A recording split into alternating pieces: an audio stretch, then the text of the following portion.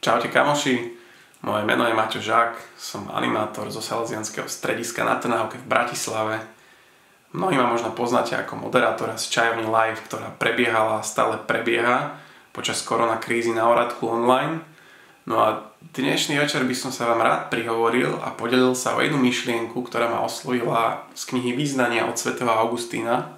Možno niektorí poznáte. Ehm, v jednej časti hovorí, že ak by si ľudia boli vedomí svojej slabosti, tak by sa neopovážili pripisovať odolnosť voči hriechu alebo pokušeniam ľudskému úsiliu, svojim vlastným zásluhám. Augustín hovorí aj to, že ak čitateľ pozorne číta jeho autobiografiu, tak e, môže vidieť, akého hriechu, akých žiadostivostí sa, dopustil, až na aké dno upadol, až aj napriek tomu ho dokázal Boh z tohto vyslobodiť tak e, o čo väčšine majú byť vďační Bohu práve tí ľudia, ktorí do týchto vecí neupadli.